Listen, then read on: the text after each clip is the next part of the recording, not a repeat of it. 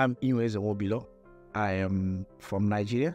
Currently, I am the lead on Paradigm Initiative digital inclusion programs. So, where what we do is um, connecting young people in underserved communities in Africa to digital opportunities while also protecting their rights online.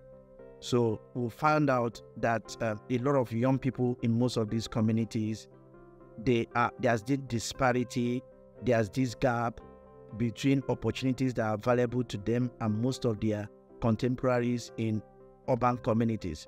So where we try to bridge this gap by solving access problem, by giving them skills problem, by also making sure that they have um, meaningful connection to the internet. In 2021, we experienced censorship practically when um, the Nigerian government on the 5th of June 2021 banned the use of Twitter in Nigeria. And because of the nature of the work we do, um, Twitter was a very, very veritable platform for us to sharing the work we do, in, interfacing with other people and professionals working, working in the same sector. So when that happened, um, it took a lot of persons um, by surprise because for most of us, we've been hearing it, so we, we've not experienced it firsthand. So that was the first time that you woke up one day you cannot receive messages on Twitter, you cannot tweet, you, but, and even most of us too, it, Twitter was a major source of news of what is happening in different parts of the world. Um, when um, the when the Twitter ban happened, so you find out that at that point in time, because I had the OONI measurement tool on my phone already, so we were making calls and we are telling people download the, if you can download this, use it. It helped us that when we are when I'm saying um, Twitter is down in this location. I'm not just making a presumptuous statement.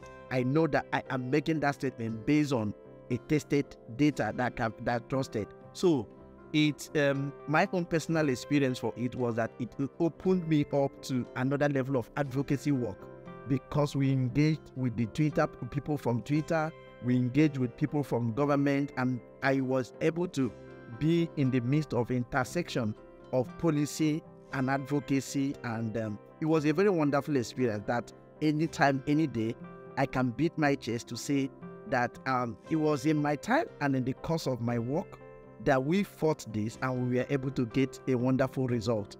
By the end of that project, we were able to have information that helped us to engage. That too has helped us to be able to know from time to time if we say that censorship is going on, if we say that websites are being shut down.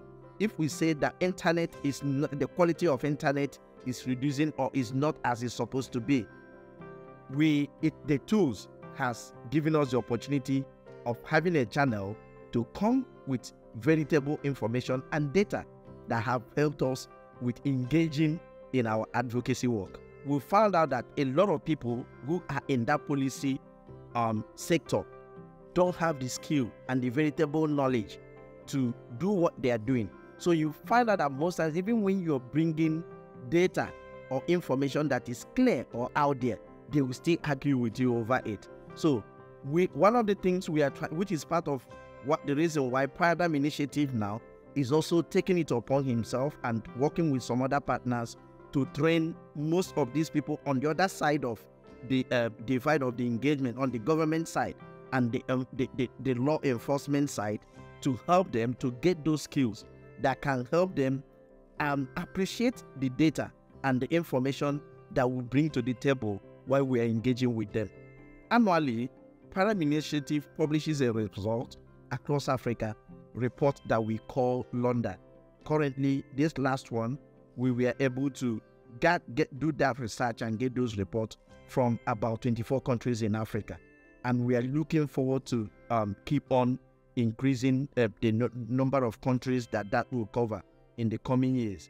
And um, in doing that, also we have other platforms that we use. We have the um, the reporting platform where we which we've created that give people opportunity to report violations and things like internet shutdown and other digital rights um, uh, violations.